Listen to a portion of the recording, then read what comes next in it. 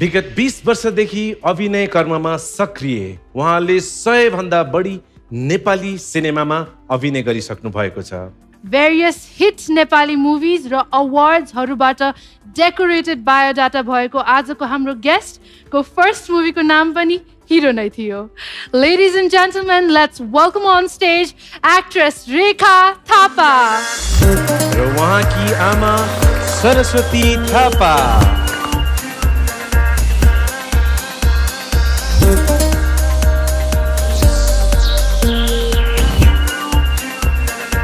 दर्शक श्रोताहरूले from the beginning Rekha Thapa कहिले हामी हेर्न पाउँछौँ? उहाँको मम्मी या ड्याडी को हुनुहुन्छ? उहाँहरूसँग हेर्न पाऊँ भनेर भनिरहेको थियो तर सोको नेचर नै यस्तै छ कि छोरीको बिहा बेलामा। मम्मीको नभ्याउने मम्मीको बिहा बेलामा। छोरीको नभ्याउने। तर फाइनली आज चाहिँ बल्ल अस्ति लास्ट टाइम ठ्याक्क मिल्न मिल्न लाग्थ्यो त्यो बेला मम्मी ठ्याक्कै त्यतिखेर पनि घर जानुभएको थियो। त्यही त, दुई त्यही तिन दिनको त। लागि त्यही भएर। अहिले कस्तो चलिरहेछ how is everything everything is good है नयाँ केही मुभिजहरू यताउता अपडेट्सहरू के छ अहिले? मेरो विचारमा अहिले मुभीहरू चाहिँ due to corona I think film industry चाहिँ ठप्प नै छ। तर हामी स्क्रिप्टको कामहरू चाहिँ गरिरहेछौँ प्रिपेयर चाहिँ गरिरहेछौँ तर we have no idea after covid were gonna happen I mean मा मान्छेहरूको मनोविज्ञान कहाँ पुग्छ?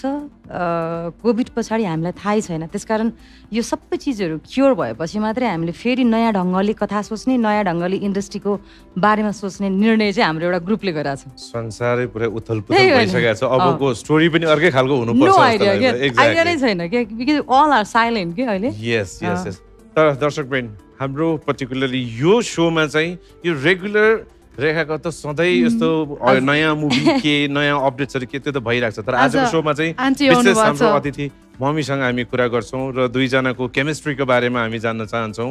दर्शक श्रोताले जान्छौँ। तर यहाँ बसेर होइन please take a seat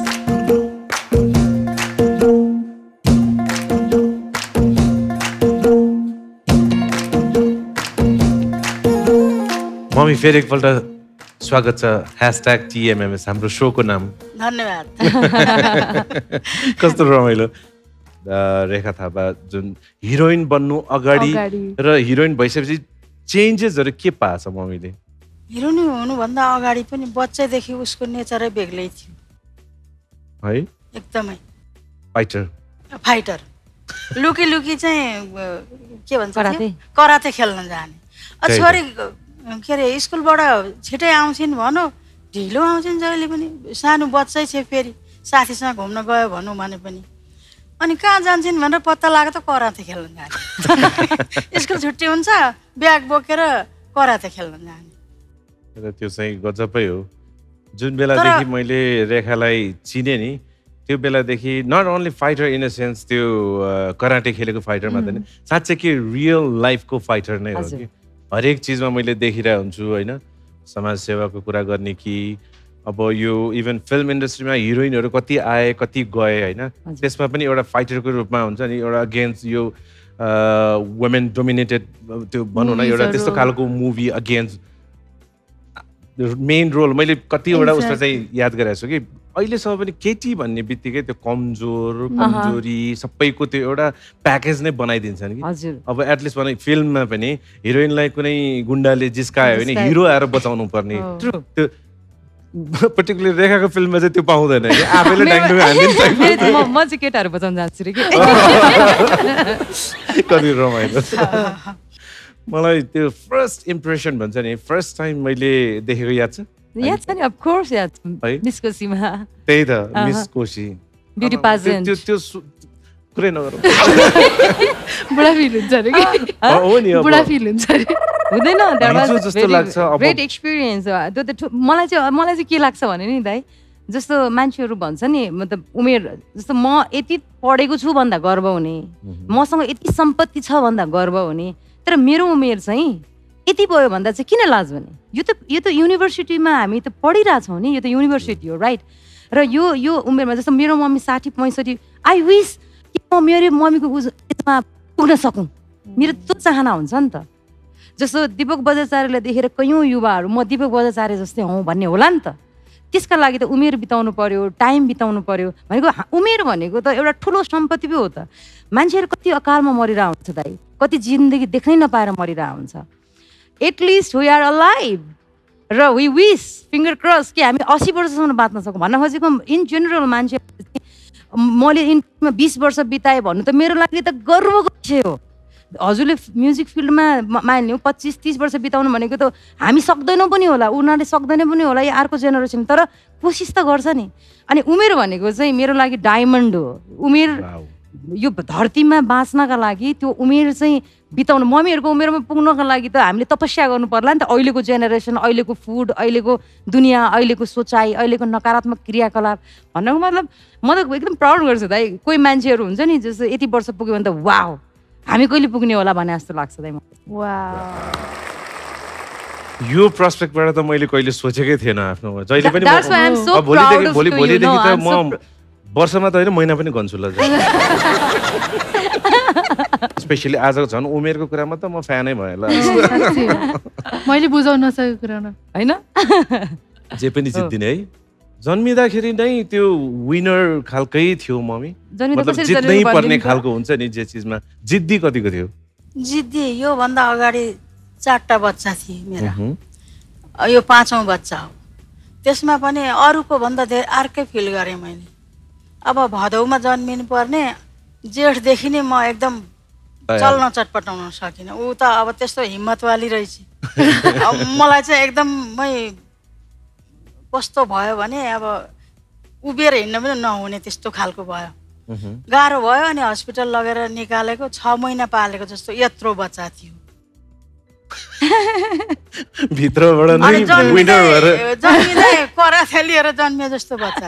सबै छक्क परे। कत्रो नौ- महिनाको गर्भमा हुँदाखेरि नै नौ वर्षको एक्सपिरियन्स लिएर दस महिनामा जन्म्यो भने होइन? त्यही हो साउनमा- जन्मिन्छ भनेको अब भदौ लागिसक्यो बच्चा जन्मिँदैन। आफू चाहिँ एकदम पुरै अब चटपटाउनै नसक्ने भएको थिएँ। अनि अब कसरी अप्ठ्यारो गरेर गाडीमा हालेर हस्पिटल पुर्याइयो त्यहाँ लगेपछि अब जन्मिन फेरि यति सजिलो जन्मिएन फेरि। गाह्रो भयो त तिन चार महिना चाहिँ ढलेको थिएँ। उठेर खाना खाना नि उठाइदिन्थेँ।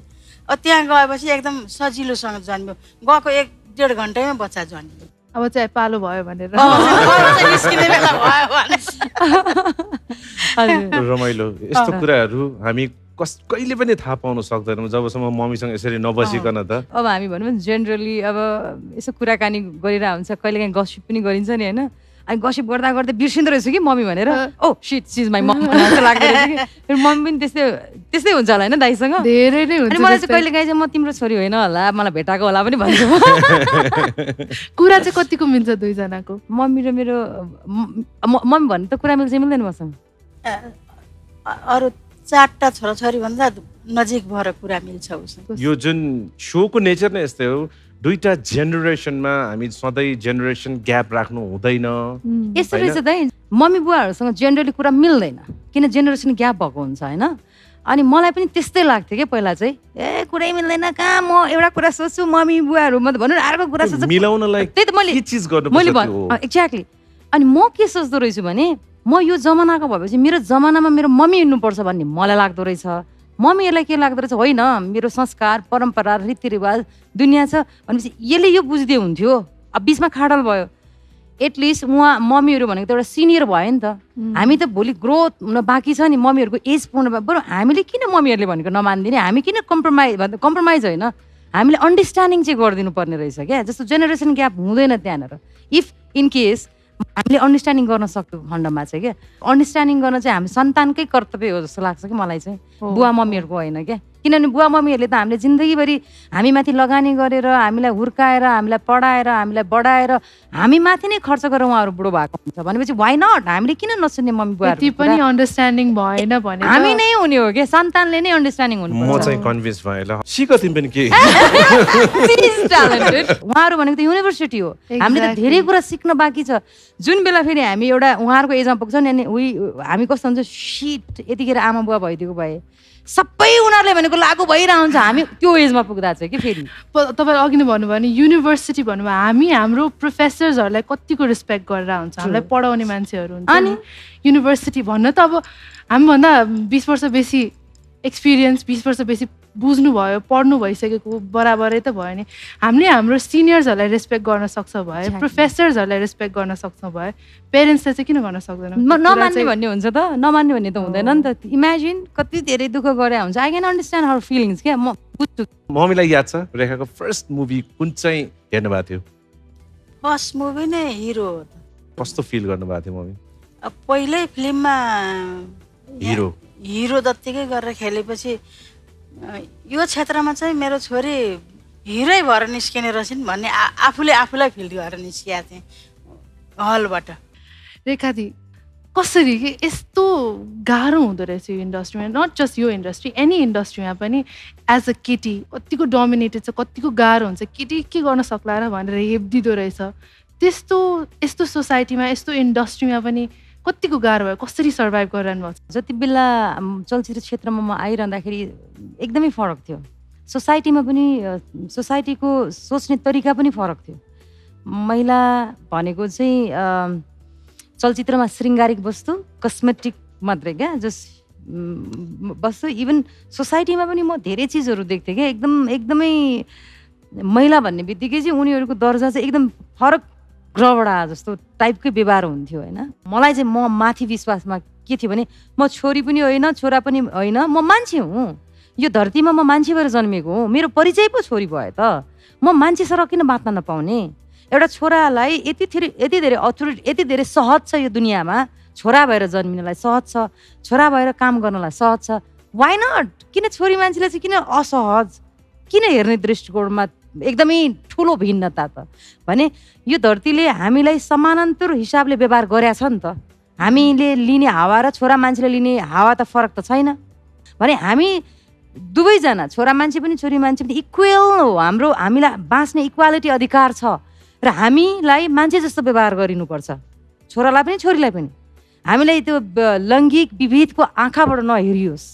र म छोरा मान्छे छोरी मान्छेले भन्दा पनि एउटा मान्छेले गर्न सक्ने कर्तव्य निर्वाह गरेर धरती छोडेर जान्छु भन्ने प्रकारको मेरो मनस्थिति भएका कारणले र you have to think that तिमी छोरी होइन। पहिला तिमी मान्छे हो। तिम्रो परिचय पो त छोरी हो त। त्यो के पनि फरक छैन नि त छोरा र हामीहरू परिचय मात्रै छोरी हो। I I feel so proud being a women म अगाडिको सातौँ जुनीसम्म पनि छोरी भएर जन्मिन पाऊँ। तर म मान्छे भएर चाहिँ जन्मिनु पऱ्यो क्या पहिला। That's the point. हरेक जवाबमा ताली बजाउनु मन आर यु आई मिन मलाई बटरिङ त होइन नि. अब छुच्ची बोल डाइनामिक फाइटर अघि नै कुरा गरेँ। साथसाथै अब इन्डस्ट्रीमा हामीले यसो हेर्दाखेरि सायद कम नै यस्तो हिरोइन छन् जसले चाहिँ सेम टाइम समाज सेवातिर पनि हुन्छ नि एउटा काइन्ड हार्ट दयालु अरूलाई अरूको दुःख हेर्न नसक्ने त्यो समाज सेवा गर्ला यसले भोलि पर्सि भन्ने खालको त्यस्तो बच्चा बेलामा केही देखिन्थ्यो मम्मी? हेर ती बनका काँडा नतिखारी आफूभन्दा तिखा कति।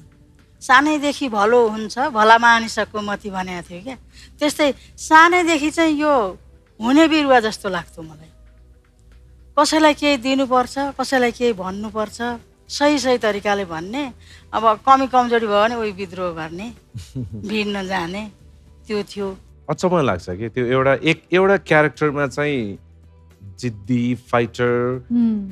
अर्को क्यारेक्टरमा चाहिँ त्यस्तो काइन्ड हार्ट हाम भनौँ न अब रेखाले त्यो जुन भूकम्पको टाइममा त्यत्रो हेल्प होइन हरेक त्यो बाढी पीडितहरूदेखि लिएर हरेक। चिज जस मतलब देशमा देशमा कुनै न कुनै। त्यस्तो आपतकालहरू त्यस्तो केही हुँदा कसैलाई हाम्रो भनौँ न दाजुभाइ दिदीबहिनीहरूलाई कहीँ केही हेल्प चाहिने बेलामा त्यो अग्रेसिभली अगाडि आउन सक्ने त्यो हेर्न दुःख न- हेर्न नसक्ने मान्छे त अगाडि आउँछ नि।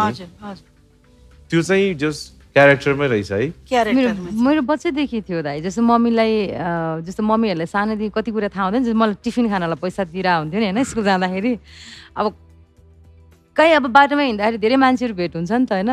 सँगैसँगै सानो फुचा फुचापछि हुन्छ नि उनीहरूको प्यारेन्ट्सले उनीहरूलाई पैसा नदिएको पनि हुन्छ अर्कै स्कुलको होइन? उनीहरूसँग चाहिँ म एकदम मिल्न चाहन्थेँ कि?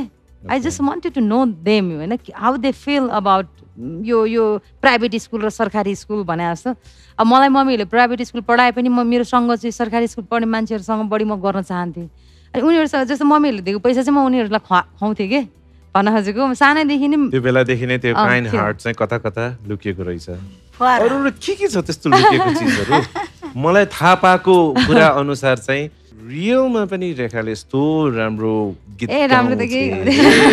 ए, है। म एउटा आज चाहिँ गीत गाउनलाई रिक्वेस्ट गर्न सक्छु। आई ट्राई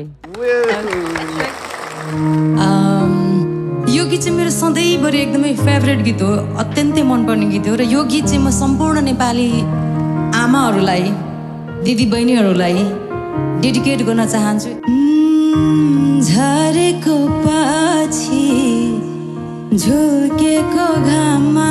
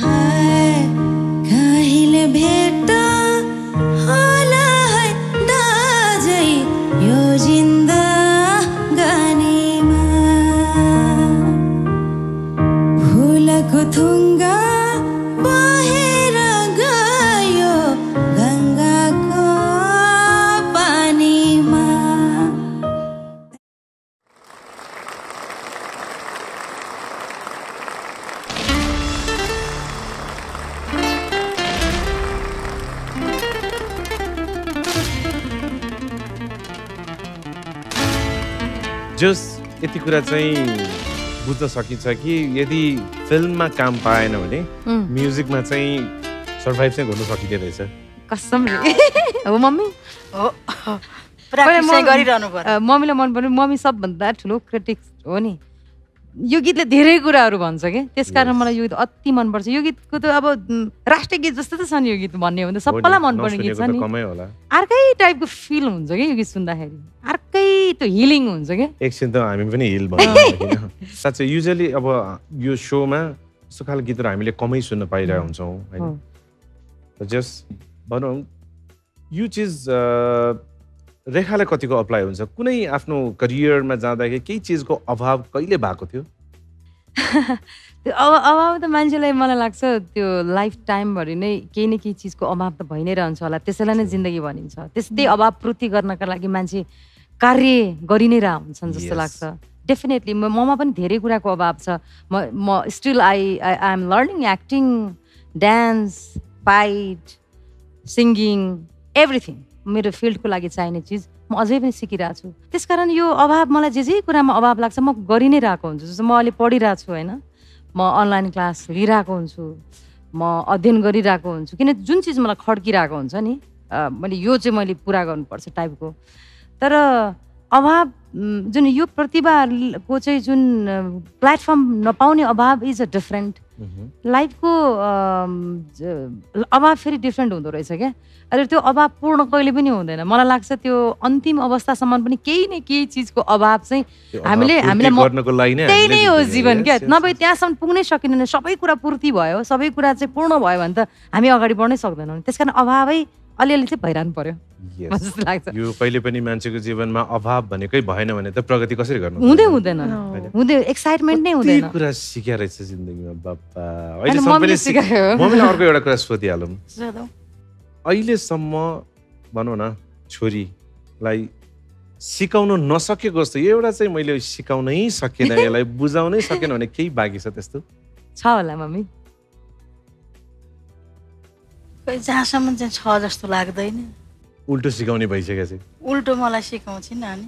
अब स्टार रेखा दिदी होइन स्टार हुनु अगाडि स्टार भइसकेपछिकोमा चाहिँ कतिको भिन्नता पाउनुभयो? म स्टार भएँ या त्यस्तो छैन। सुरुदेखि जस्तो थियो त्यस्तै छ।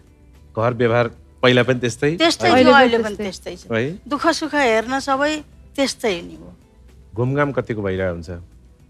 घुमघाममा त्यति साह्रो अब काहीँ होटलतिर गएर खाने बस्ने गरेका छैन आजसम्म कसैले भेटेका छैन। मम्मीलाई घुमाउन चाहिँ कतिको लगिरहेको हुन्छ?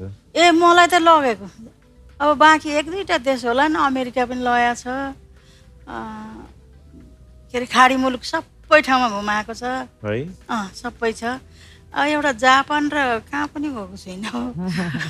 दुई तिनवटा देश। विदेशमा मात्र घुमेर भएन मम्मी। यो ठाउँ? हाम्रो आफ्नो देशमा पनि मैले यो सन्दर्भ? कहाँबाट निकालेँ। भने।